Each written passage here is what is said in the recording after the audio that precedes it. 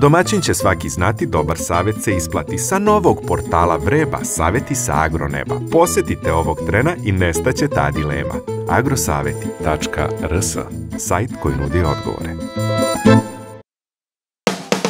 Iako je završio šumarsku školu, 46-godišnji Milivoj Alimpić, poznatiji po nadimku Baja, iz mačvanskog sela Donji Dobrić, nijedan dan nije proveo radeći u struci.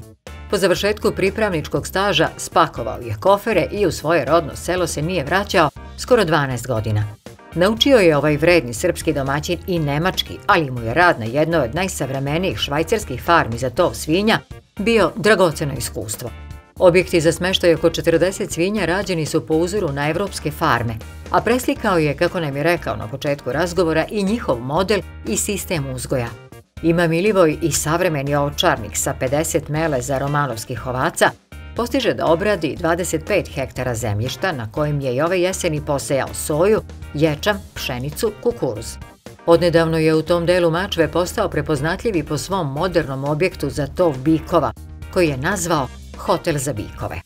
To sam video u, Švajcarskoj, tamo negdje kod Lozane. E, moj gazda imao farmu, jednu iznajmljenu i pisalo je Hotel de Pork tri zvezdice, hotel za svinje, međutim ja sam ovdje rekao ajde da, da napravimo hotel za bikove. Trudio se naš domaćin da svojim govedima obezbedi najhumanije uslove za smeštaj, poštujući sve evropske standarde za dobrobit životinja, počev od boje zidova preko hranilica i pojilica, strogo vodeći računa o tome da imaju dovoljno prostora i da nisu potpuno zatvorene. Ova boja nije slučajna. Možete e, pitati neke stručnjake koji su već tome. Ovo je boja koja odmara oči stoci. Ova boja je jedna tamo negdje između plave i sive. To su te dve boje koje e, e, za stoku odmara im oči. Belo, normalno, belo.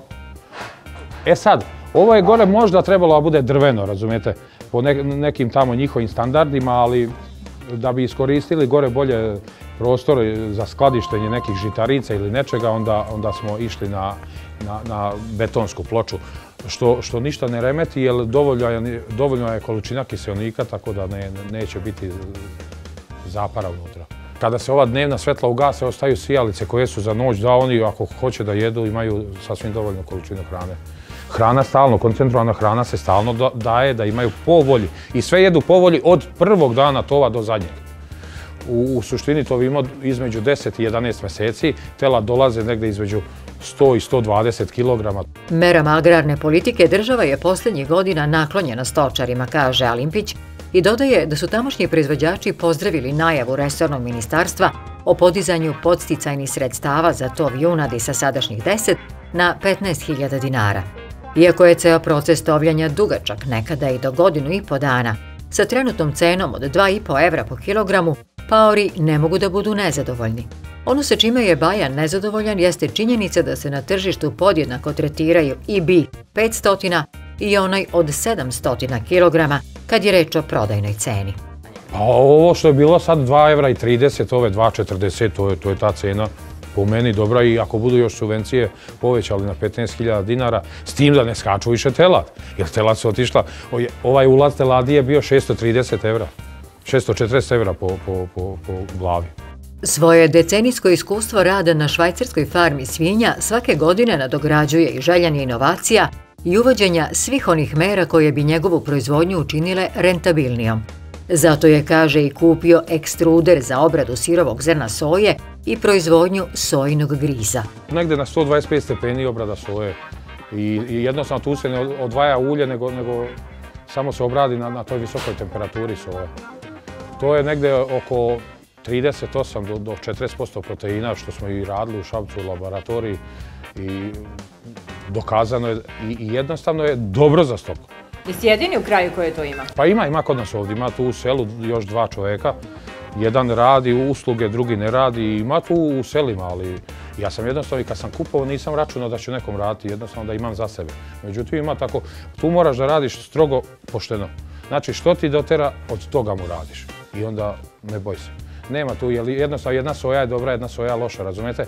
Ti ako počneš to da kombinuješ, onda ljudi brzo odlaze.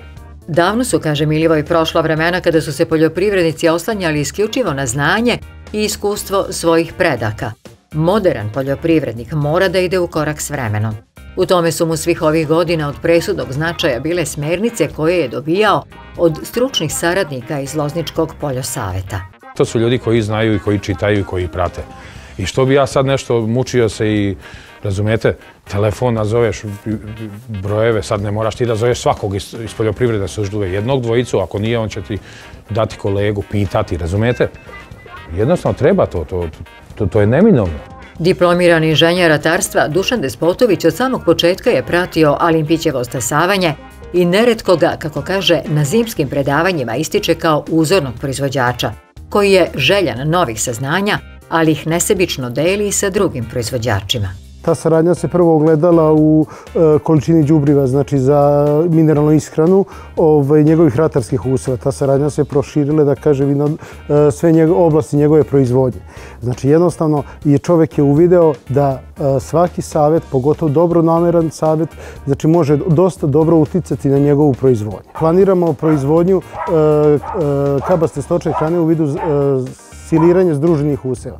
Ove godine smo radili e, združeni usev soje i kukuruza se slažu, da smo dobili e, fantastične rezultate koje ćemo na našim zimskim školama i prezentovati e, zimskim školama i predavanjima prezentovati našim poljoprivrednim proizvođačima.